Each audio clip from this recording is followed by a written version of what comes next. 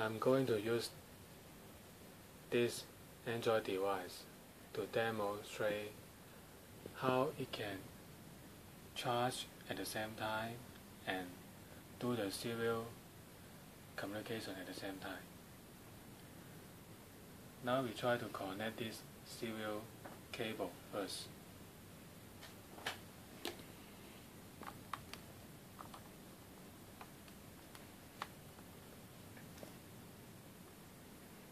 Now we put up the device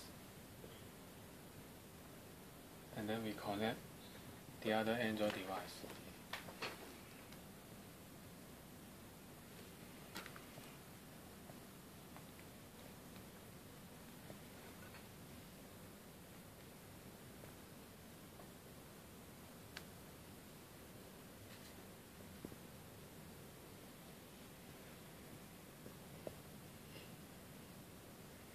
And now we put it down first.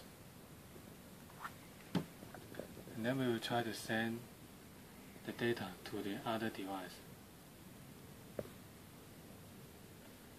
And we can receive here.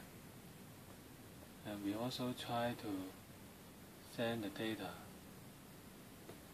in this to the other Android device and they, their communication is via this cable. You can see,